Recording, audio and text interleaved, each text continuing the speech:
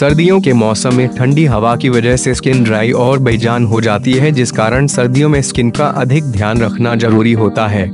आज हम आपको कुछ ऐसे ही टिप्स के बारे में बताने जा रहे हैं, जिनका उपयोग कर आप अपनी खूबसूरती का खास ध्यान रख सकते हैं। तो आइए जानते हैं इन टिप्स के बारे में।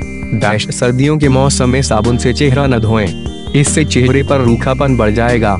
दिन में दो बार क्लीजिंग मिल्क से त्वचा की सफ़ाई करें। इसके बाद किसी अच्छे मॉइस्चराइजिंग साबुन या फेस वॉश से चेहरा धोएँ। डैश आँखों के चारों ओर की स्किन बहुत सॉफ्ट होती है। मुँह धोने के बाद किसी अच्छी कंपनी की अंडर आई क्रीम का इस्तेमाल करें। डैश रात को सोने से पहले बादाम के तेल क्रीम या फिर किसी नॉरिशिंग क्रीम से चेहरे की मालिश करें। इससे स्किन की सॉफ्टनेस बनी रहेगी।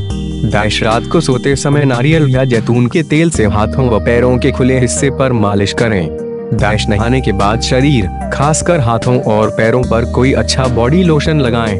इससे बॉडी पर ड्राइनेस नहीं होगी